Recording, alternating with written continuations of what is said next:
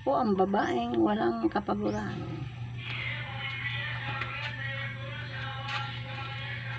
Ito nagsasampay na naman ang nanay.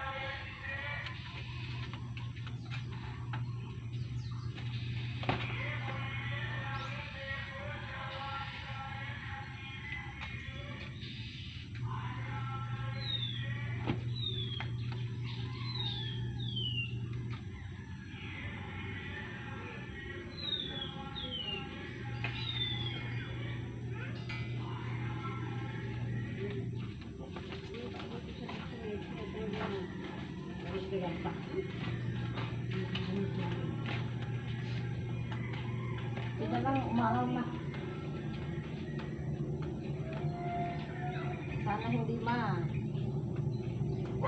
mausog. Ha? Sa, buti na lang kako umaraw na yan. Sana hindi mausog. Eh, ano nangyari? Ano, sa araw eh, oh. Sa tayo mga ano eh.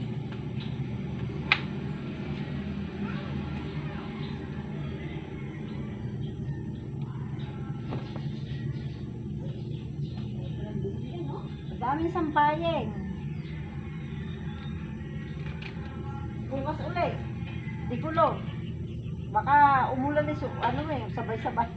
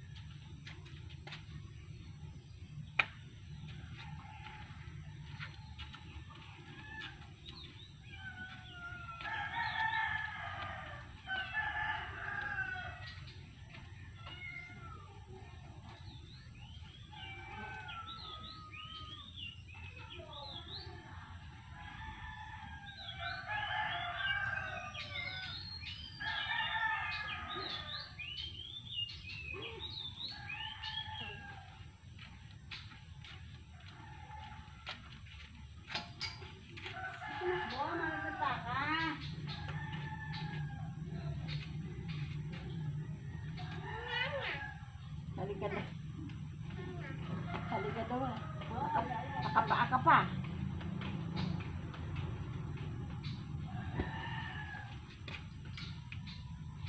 Ay, buhay. Buhay, ganito lang araw-araw. Nakabili. Araw-araw ganito eh.